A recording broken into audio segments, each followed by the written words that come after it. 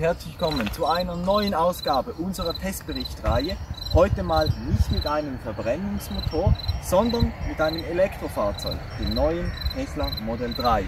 Hier in der Farbe Red Multicode, die 2000 Franken zusätzlich kostet, aber wie ich finde, eigentlich dem Auto ganz gut steht. Wie ihr wisst, werden wir auch dieses Mal wieder die, den Schwerpunkt auf die Fahrdynamik legen. Wir zeigen euch das äh, Interieur ein bisschen.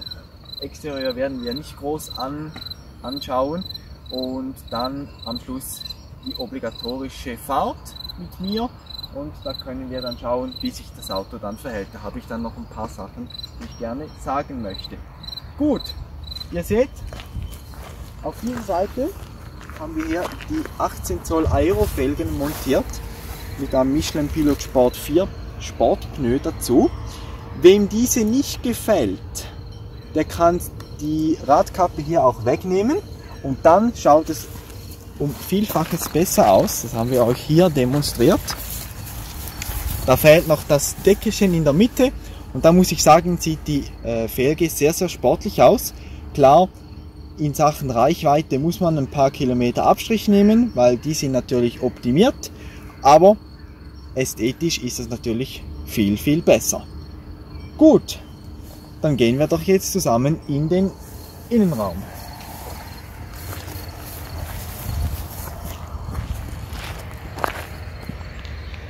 So, herzlich willkommen nun jetzt zum Innenraumcheck.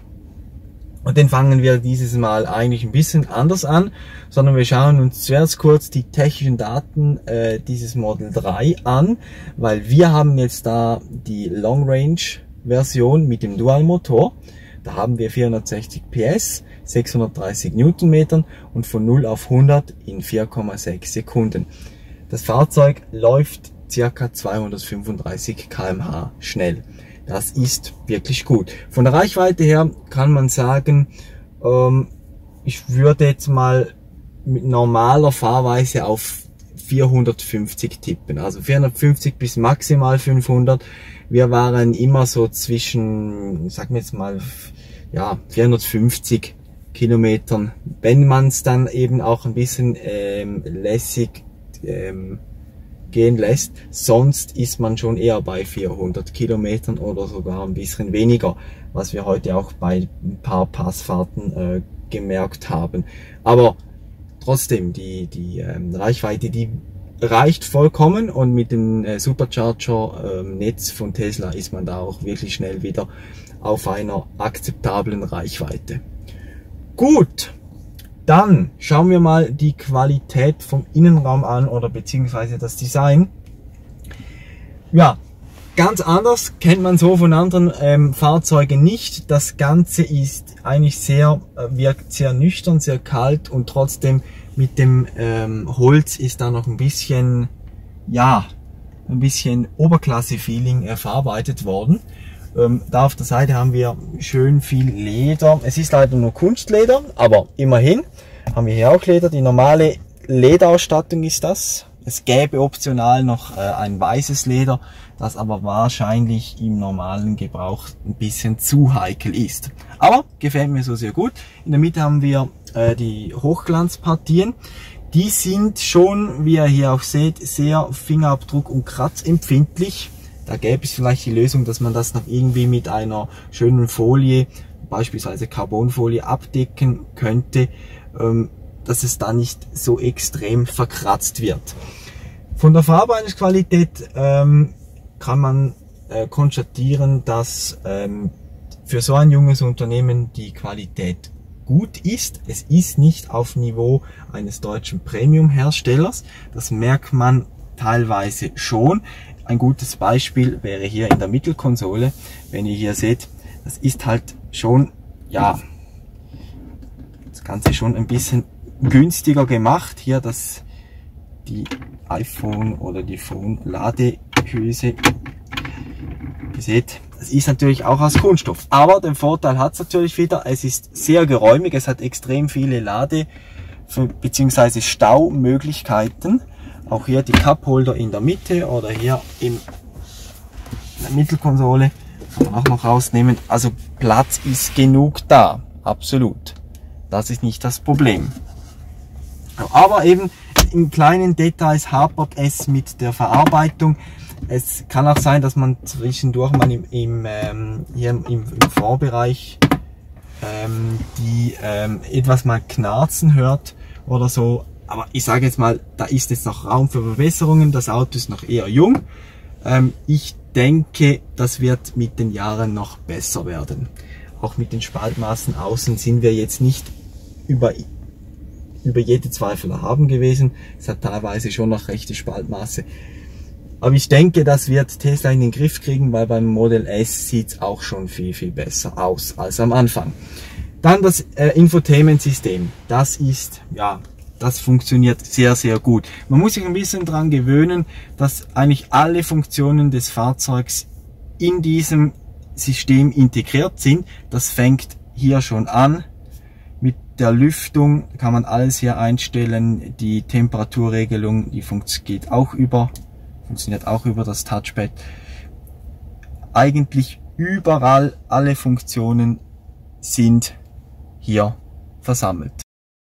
Wenn man hier auch sieht, das System läuft wirklich sehr, sehr flüssig.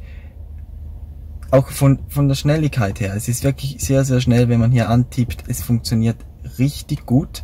Auch die ähm, Touch-Funktion ist gelungen. Kann man hier auch anschauen. Ist wirklich ganz, ganz ist wirklich schnell, muss man, muss man sagen. Ja. Und schon geht's ab hier. Wunderbar. Also wirklich, das sieht man auch richtig gut. Gut. Wunderbar. Perfekt. Ähm, man muss auch dazu sagen, am Anfang ist es ein bisschen gewöhnungsbedürftig. Also es, es lenkt teilweise schon vom Verkehrsgeschehen ab, wenn man da für Leuchten und Verriegelungen und weiß ich was und Autopilot hier zuerst die, die, die richtige Anzeige finden muss. Aber mit ein bisschen ähm, Übung ähm, geht das immer schneller und dann ist die ganze Sache auch intuitiv. Aber man muss sich daran gewöhnen, dass er teilweise schon verschachtelt ist und man das erste Mal ein Weilchen suchen muss. Also gerade am Anfang alle Funktionen im Griff zu bekommen, ist fast unmöglich. Da müsst ihr wirklich ein bisschen in, in, ja, ins System reinkommen und dann funktioniert es eigentlich schon gut. Aber sonst Schnelligkeit passt. Also das auch die Auflösung ist wirklich gestochen scharf. Wenn man näher heranzoomt, dann sieht man die Pixel, aber das äh, ja, also für ein Auto ähm, hier wirklich gut. Wunderbar. Gut, ja, das war's mal so vom Innenraum. Wir äh, werden jetzt uns auf die Fahrdynamik konzentrieren.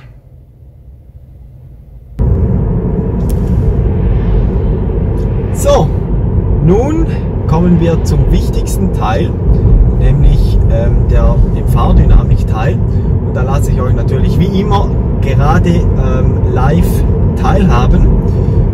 Wir fahren jetzt hier mal äh, in der Region Zürich äh, umher und wir haben jetzt das Auto den ganzen Tag äh, sehr gut testen können mit Pässe, mit Passstraßen, Autobahnen, Autostraßen und wie hier jetzt mal so eine 80er Strecke. Wir fangen wie immer mit der Lenkung an und da muss ich wirklich gestehen, das hat Tesla sehr, sehr gut gemacht. Ähm, für ein amerikanisches Fahrzeug ist die Lenkung sehr, sehr gut abgestimmt. Ähm, macht wirklich einen deutschen, deutschen Eindruck und äh, bis jetzt, bis dato die beste Lenkung, die aus Amerika kommt, äh, welche ich bis jetzt fahren durfte. Das fängt schon Präzision in der Mittellage an, die ist erstaunlich gut. Also das Fahrzeug hat sehr, sehr wenig äh, Spiel in der Lenkung. Wenn man hier mal ein bisschen dran dreht, das fängt sofort an, vorne die Bewegung in eine, in eine Lenkbewegung zu, zu äh, ändern. Und das ist richtig gut. Also das, da habe ich schon andere Fahrzeuge äh, gehabt, die auch ähm, sportlich sein wollen, die aber längst nicht so direkt schön in der Mittellage ist. Das Einzige, was mir an der Lenkung nicht ganz so gefällt, ist die Rückmeldung, das Feedback von der Straße. Teilweise, wenn es noch ein bisschen noch mehr Feedback, noch, noch mehr, man, man wüsste, wo die, ähm, die Räder stehen dann in der Kurve, dann wäre die Lenkung wirklich perfekt, weil vom Rückstellmoment, von den Lenkwinkeln, von den Lenkkräften, das ist alles ganz, ganz gut gemacht. Also da, da bin ich, oder beziehungsweise war ich sehr, sehr erstaunt, dass das so gut funktioniert. Und von Anschlag zu Anschlag sind wir da bei einer Lenkumdrehung. Also das ist ähm, auf, sag ich mal, auf variablen Sportlenkung bei BMW. Die, die, ist auch, die ist auch etwas so, oder? Genau.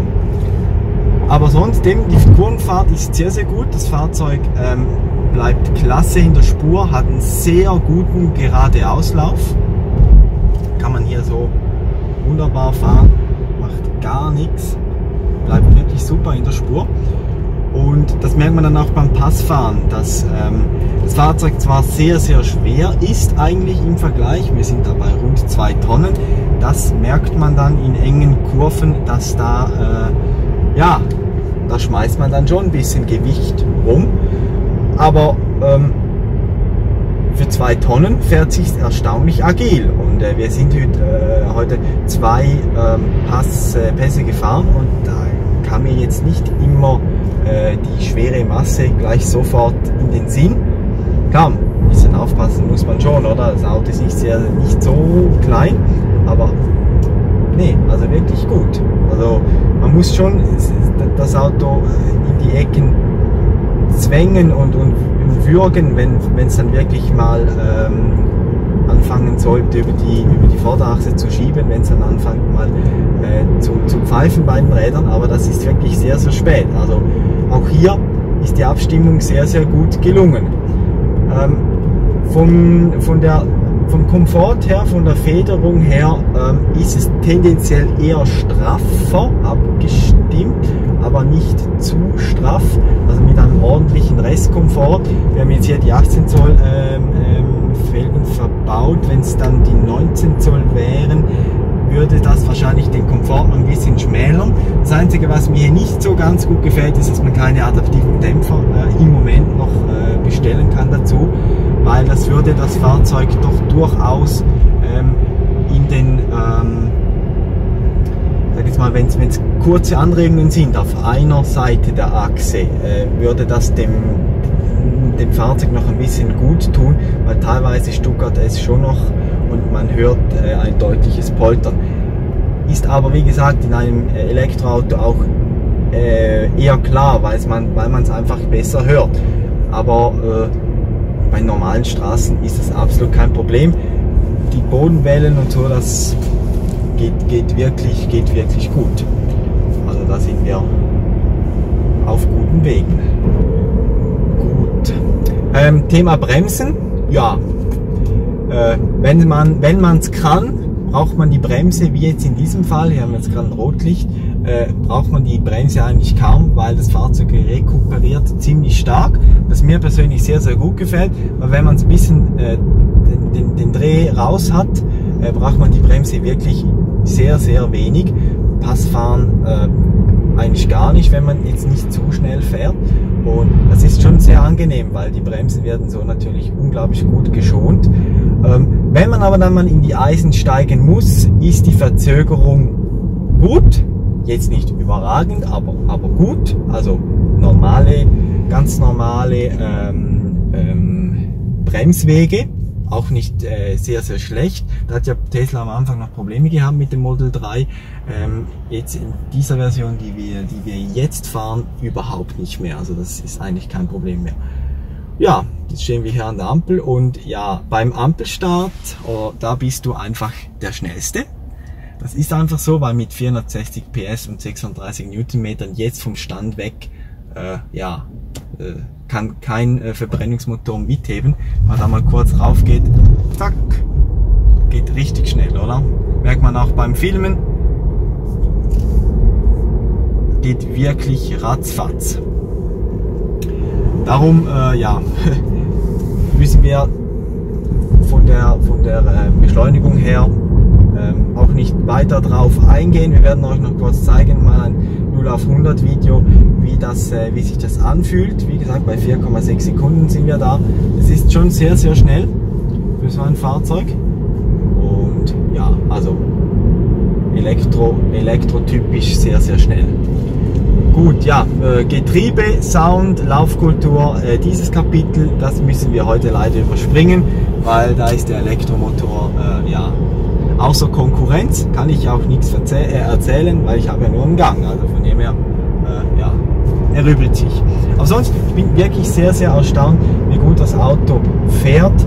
Ähm, hätte ich so nicht gedacht. Ähm, vor allem die europäische Abstimmung, die eher deutsche Abstimmung im ganzen Fahrzeug, die merkt man schon. Und da ist Tesla auf wirklich guten Wegen, weil die anderen amerikanischen ähm, Hersteller sind da immer noch irgendwie noch Ameri American Style drin. Und das ist einfach, ja, das wird bei uns nie den wahnsinnigen Erfolg haben.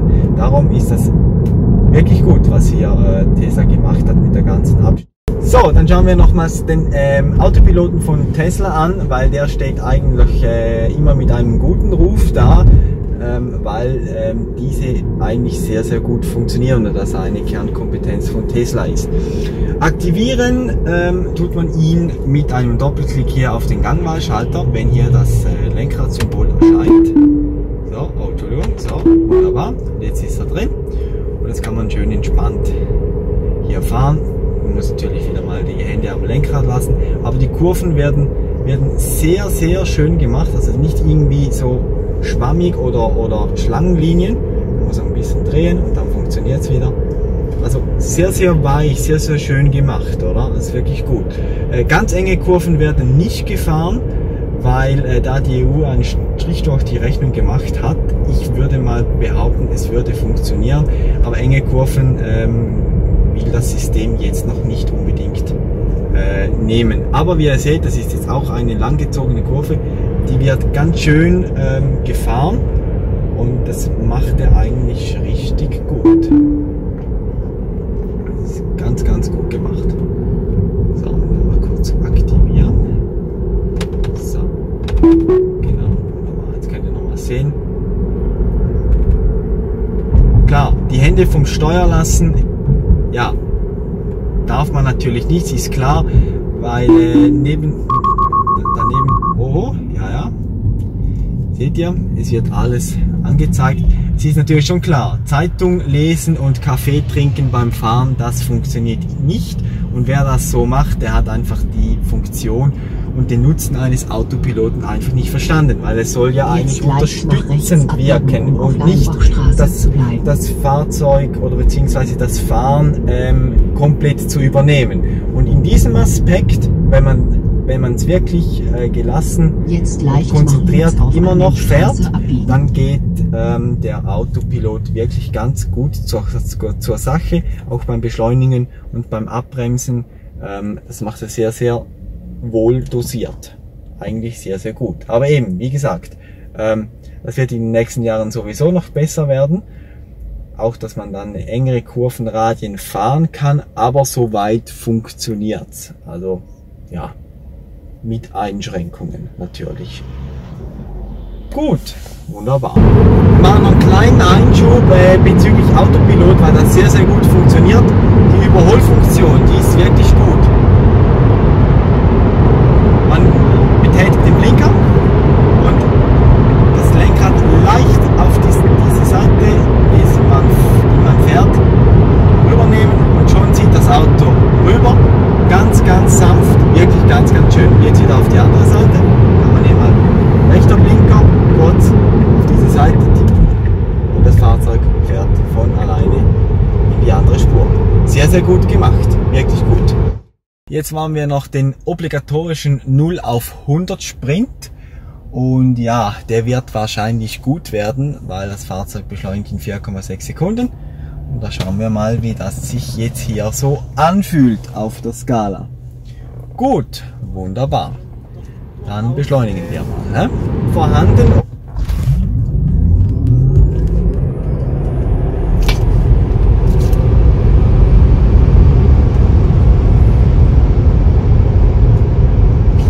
Ihr seht, absolut kein Problem hier zu beschleunigen.